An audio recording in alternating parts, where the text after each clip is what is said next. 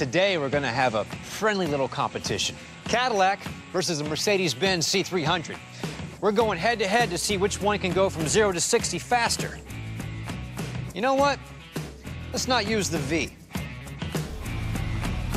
Today, we're doing it in an Escalade. You guys ready? Three, two, one, go. This vehicle's all about the unexpected. With a 403 horsepower V8, it combines incredible acceleration with the capability and luxury of, well, an Escalade. Oh, and speaking of capable, I gotta get this thing back in an hour.